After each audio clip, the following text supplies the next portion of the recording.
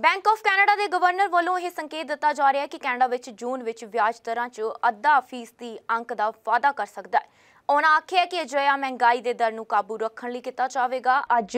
Tiff Malcolm House of Commons the finance ਬਾਰੇ standing committee ਸਾਹਮਣੇ ਉਹ ਪੇਸ਼ ਹੋਣਗੇ ਦੋ ਹਫ਼ਤੇ ਪਹਿਲਾਂ ਵੀ ਸਟੇਲਰ ਬੈਂਕ ਨੇ ਆਪਣੇ ਵਿਆਜ ਦਰਾਂ ਵਿੱਚ ਅੱਧਾ ਅੰਕ ਤੋਂ 1% ਤੱਕ ਦਾ ਵਾਧਾ ਕੀਤਾ ਸੀ ਉਸ ਸਮੇਂ ਹੀ ਬੈਂਕ ਵੱਲੋਂ ਵਿਆਜ ਦਰਾਂ ਵਿੱਚ ਹੋਰ ਵਾਧਾ ਕੀਤੇ ਜਾਣ ਦੀ ਚੇਤਾਵਨੀ ਦੇ ਦਿੱਤੀ ਗਈ ਸੀ ਮੈਲਕਮ ਨੇ ਆਖਿਆ ਕਿ ਬੈਂਕ ਵੱਲੋਂ ਜੂਨ ਵਿੱਚ ਅੱਧਾ ਫੀਸਦੀ ਅੰਕ ਨਾਲ ਵਿਆਜ ਦਰਾਂ ਵਿੱਚ ਵਾਧਾ ਕਰਨ ਬਾਰੇ ਵਿਚਾਰ ਕੀਤਾ ਜਾਵੇਗਾ ਮਾਰਚ ਵਿੱਚ ਕੈਨੇਡਾ ਵਿੱਚ ਮਹਿੰਗਾਈ ਦਰ ਤਿੰਨ ਇਲਾਕਿਆਂ ਵਿੱਚ ਸਭ ਤੋਂ ਵੱਧ ਯਾਨੀ ਕਿ 6.7 ਫੀਸਦੀ ਪਾਈ ਗਈ ਸੀ ਇਹ ਜਨਵਰੀ ਵਿੱਚ ਸੈਂਟਰਲ ਬੈਂਕ ਵੱਲੋਂ ਪੇਸ਼ ਕੀਤੀ ਗਈ ਆਪਣੀ ਮੌਨਟਰੀ ਰਿਪੋਰਟ ਵਿੱਚ ਪੇਸ਼ ਕੀਤੇ ਗਏ ਕਿਆਸ ਨਾਲੋਂ ਕਿਤੇ ਜ਼ਿਆਦਾ ਸੀ ਮੈਲਕਮ ਨੇ ਇਹ ਵੀ ਆਖਿਆ ਕਿ ਰੂਸ ਵੱਲੋਂ ਯੂਕਰੇਨ ਉੱਤੇ ਕੀਤੇ ਗਏ ਹਮਲੇ ਕਾਰਨ એનર્ਜੀ ਤੇ ਹੋਰਨਾਂ ਵਸਤਾਂ ਦੀਆਂ ਕੀਮਤਾਂ ਵਿੱਚ ਕਾਫੀ ਵਾਧਾ ਹੋਇਆ ਹੈ ਇਸ ਨਾਲ ਗਲੋਬਲ ਸਪਲਾਈ ਚੇਨਸ ਵਿੱਚ ਵੀ ਵਾਧਾ ਹੋਣ ਦੀ ਖਦਸ਼ ਹੈ ਸਾਡਾ ਹਰ ਇੱਕ ਪ੍ਰੋਗਰਾਮ ਦੇਖਣ ਤੇ ਸਾਡੇ ਨਾਲ ਜੁੜਨ ਲਈ ਸਬਸਕ੍ਰਾਈਬ ਕਰੋ ਚੈਨਲ ਪੰਜਾਬੀ ਤੇ ਨੋਟੀਫਿਕੇਸ਼ਨ ਲਈ ਬੈਲ ਆਈਕਨ ਵਾਲੇ ਬਟਨ ਤੇ ਕਲਿੱਕ ਕਰੋ